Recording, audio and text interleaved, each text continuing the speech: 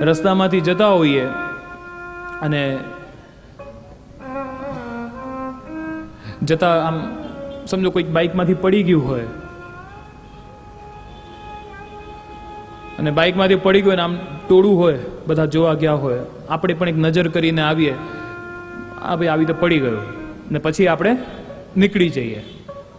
પણ આપણને ખબર પડી કે આ ભાઈ આપણો મિત્ર છે, કે આ મારો પુત્ર છે. આ મારો પિતા છે, એનું ભાઈ એક્સિડન્ટ થયું છે. આપણે જશું નહીં, આપણે ત્યાં ઊભા રહીશું. કંઈક ને કંઈક દેખભાલ કરીશું. શું કામ?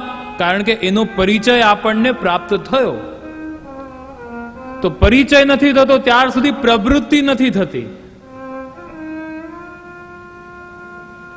અને એમ પણ કોઈ અજાણ્યો વ્યક્તિ હોય, એ એવી રીતે હોય તો આપણે પછી એટલું બહુ ધ્યાન આપતા નથી.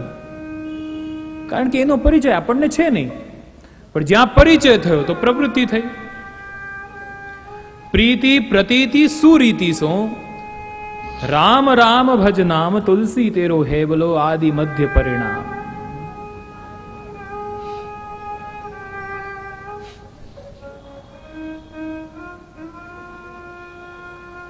તો પરિચય હોય ત્યારે પ્રવૃત્તિ થાય પ્રવૃત્તિ હોય તો પ્રતીતિ હા વો હે એક્ઝિસ્ટન્સ એ મારી સાથે છે.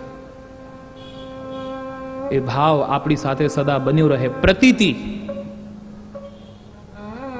જ્યારે જીવને આ પ્રતીતિનો અહેસાસ નથી થતો એ ભગવાન મારી સાથે છે, ત્યારે જીવની અંદર ભય આવે છે. પણ જ્યારે જીવની અંદર એક જ્ઞાન રહે, એ પ્રતીતિ રહે, કે એ મારી સાથે છે. ભગવાન મારા માટે નથી, પણ ભગવાન મારી સાથે છે.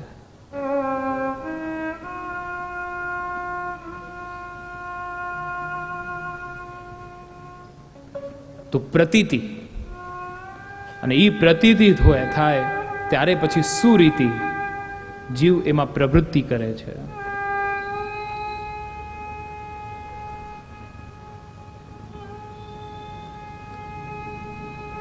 તો આ ભાગવતના પરિચય પ્રાપ્ત કરવાથી પ્રભુમાં પ્રીતિ પ્રગટ થાય છે પ્રેમ જરૂરી છે વૈષ્ણવો ये श्रीमद भागवत कथा क्या है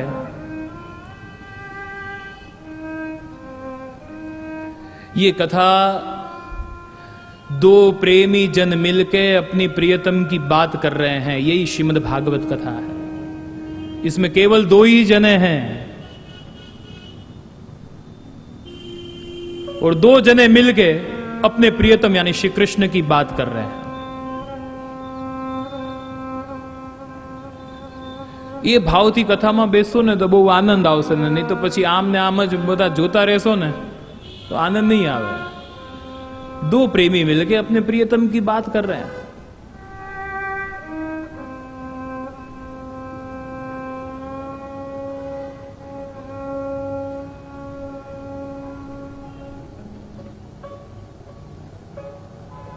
एक बात ध्यान में रखो प्रियजनों भगवान को पाना कठिन नहीं है पर कठिन है तो भगवान के प्रेम को पाना कठिन है भगवान तो सब भगवान तो कंस को भी मिल गए રાવણને મળી ગયા પણ એને શું ન મળ્યું ભગવાનનો પ્રેમ ન મળ્યો તો કઠિન છે ભગવદ પ્રેમને પ્રાપ્ત કરવું તો આ કથા ભગવાનમાં પ્રેમ કરાવે છે. ભાગવત પ્રેમ આપણી અંદર જાગૃત થાય છે.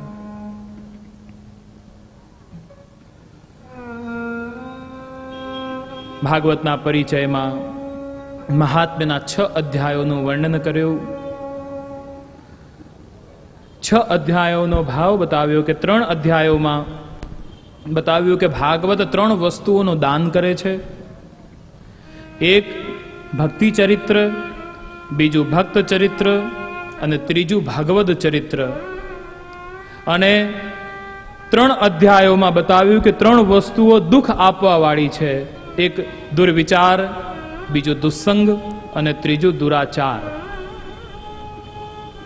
એટલે છ અધ્યાયોમાં મહાત્માનું વર્ણન કર્યું.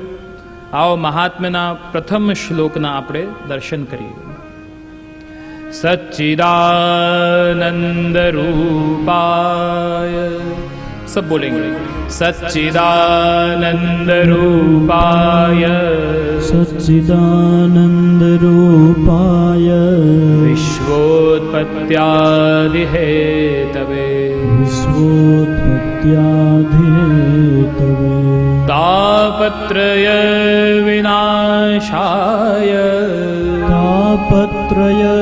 विनाशाय। श्रीकृष्णाय वयं नुमः। श्रीकृष्णाय वयं नमः। श्रीकृष्णाय वयं नुमः। श्रीकृष्णाय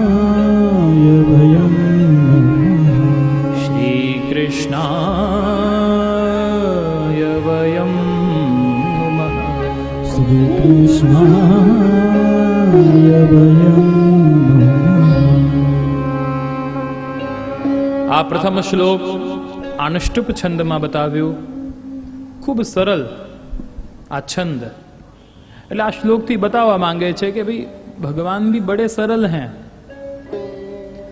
અનુષ્ટુપ છંદ હોય એનું લક્ષણ છે કે ભાઈ બત્રીસ અક્ષર હોય એક પદ હોય ના ચાર ચરણ હોય આઠ આઠ અક્ષરના સચ્ચિદાનંદ રૂપાય વિશ્વોત્પત્યાદિ હેતવે તાપત્રય વિનાશાય શ્રી કૃષ્ણાય વયમ નમઃ આ ચાર ચરણ આઠ આઠ અક્ષરના એટલે આઠ ચોક એટલે ભગવાન કેવા છે બત્તીસ લક્ષણ વાળા बत्तीस लक्षणों से युक्त हैं इसलिए आनुष्टुप छंद से भगवान के स्वरूप का वर्णन करने में आया यह प्रथम श्लोक में भगवान के स्वरूप उनके स्वभाव और उनके कार्य का वर्णन किया સચ્ચિદાનંદ રૂપા ભગવાન કેવા છે સચ્ચિદાનંદ સચ્ચિત આનંદ સત એટલે સત્ય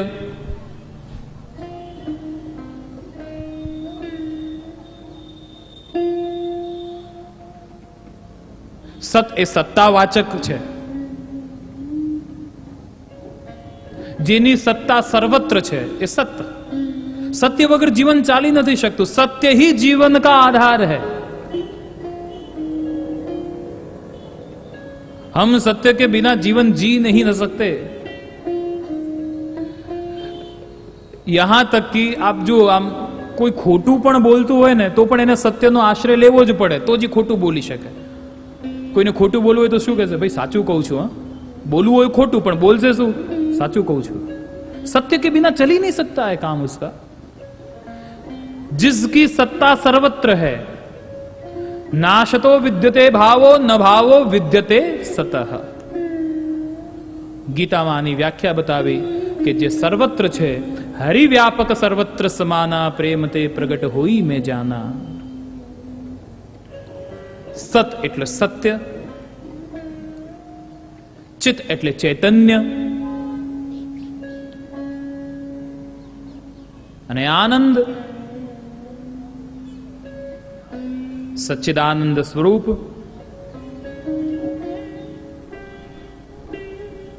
આનંદ એ ભગવાનનું એક નામ છે आनंदो ब्रह्म वेद कहता है भगवान में आनंद है ऐसा नहीं है भगवान ही आनंद है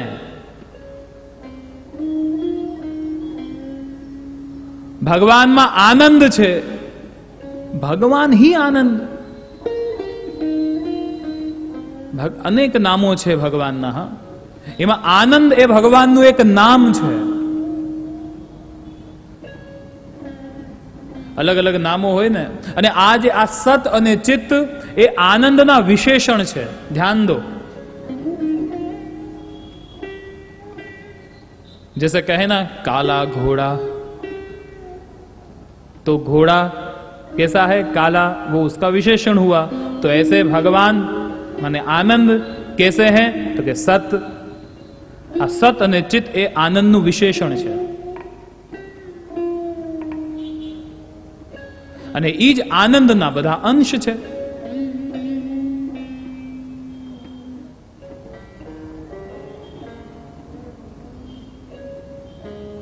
आ दृष्टि थी આ સંસારમાં કોઈ પણ જીવ नास्तिक नहीं सब आस्तिक हैं सब भगवान के भक्त हैं इस संसार में रहे हुए जितने भी जीव हैं सब भगवान के अंश हैं और भगवान के भक्त हैं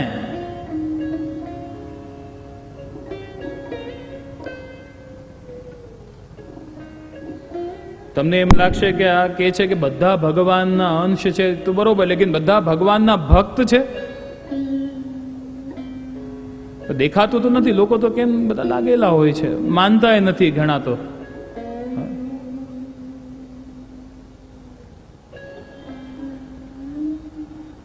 કેવા કેવા સંસારમાં આપણે લોકો જોઈએ છીએ. ન માનવા વાળા ભગવાનને નથી માન, એવા ઘણા લોકો આપણે જોઈએ છીએ. નાસ્તિક વાતો કરતા હોય છે.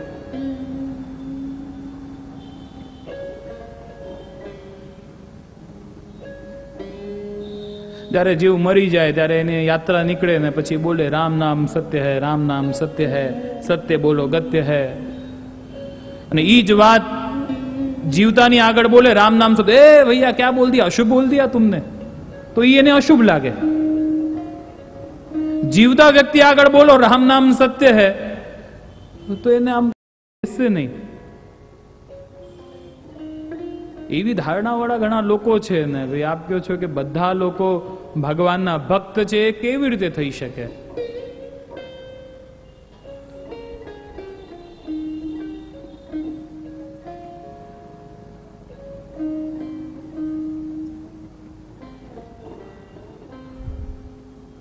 એક વાત સમજો. કોઈ પણ વ્યક્તિ એને પૂછો, નાનો બાળક? એને પૂછો, તને શું જોઈએ છે? તારી શું ઈચ્છા છે? શું ચાહે છે? હા, ભૈયા, મેં તો ચાહતા હું હું તો ઈચ્છું છું કે હું મારી એક્ઝામમાં પાસ થઈ જાઉં, પરીક્ષામાં પાસ થઈ જાઉં.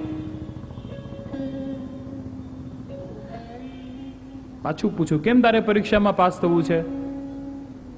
તો કે પરીક્ષામાં પાસ થઈશ તો આગળની કક્ષામાં જઈશ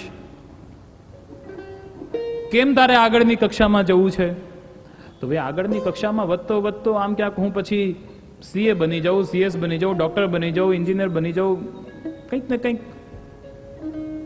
કેમ તારે આમ ડોક્ટર બનવું છે કે પીએચડી કરવી છે કે એન્જિનિયરિંગ કરવી છે શું કામ પૂછો उसको क्यों कि भाई हाँ इंजीनियर बन गए तो अच्छी खासी कहीं जॉब लग जाएगी मल्टीनेशनल कंपनी में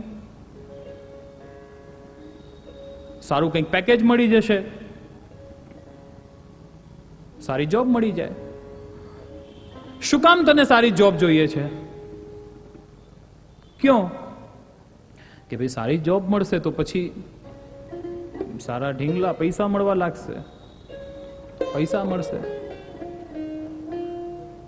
શું કામ તને પૈસા જોઈએ છે? ફિર પૂછો. પૈસે ક્યો ચાહીએ? तो कि पैसों के माध्यम से मुझे जो भी जीवन में मेरी आवश्यक चीजें हैं या जो जो भी मेरे आनंद सुख के पदार्थ हैं उन पदार्थों का मैं संग्रह कर सकूं એને હું ખરીદી શકું એટલે મારે પૈસા જોઈએ છે સેના માટે તને પૈસા જોઈએ છે સુખ માટે આનંદ માટે શું જોઈએ છે મતલબ એને આનંદ જોઈએ છે સંસારની જેટલી પણ પદાર્થો છે વસ્તુઓ છે એને શું કામ જોઈએ છે કારણ आनंद अब उसको पूछो तुझे आनंद क्यों चाहिए તને આનંદ કેમ જોઈએ છે એમ કે સુખ કેમ જોઈએ છે બધાને સુખ જોઈએ બધાને આનંદ જોઈએ એક બાપ એના ચાર દીકરા ચારેના મોઢા અલગ ચારેના સ્વભાવ અલગ ચારેની વૃત્તિ અલગ ચારેના ટેસ્ટ અલગ ચારેના ઇન્ટરેસ્ટ અલગ. પણ ચારેને પૂછો તને શું જોઈએ? तो के आनंद क्यों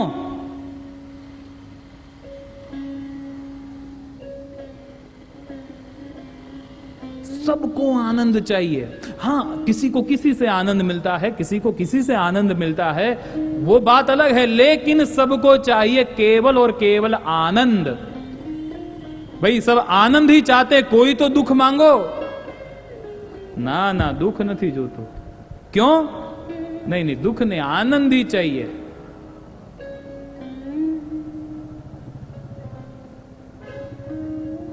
और क्यों આનંદ चाहिए તો उसका જવાબ, તો ચૂપ. આની પાછળ એક સાયન્સ છે.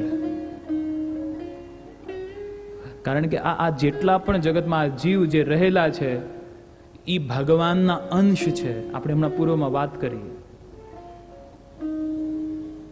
ચિદમાત્રો હરેરંશ મમૈવાંશો જીવલોક જીવભૂત સનાતન એ આન એ એ બ્રહ્મના અંશ છે એ ભગવાનના અંશ છે હવે એ ભગવાન કયો કૃષ્ણ કયો કે આનંદ કયો એટલે ભગવાનના અંશ છે, મતલબ આનંદના અંશ છે। અને આનંદના અંશ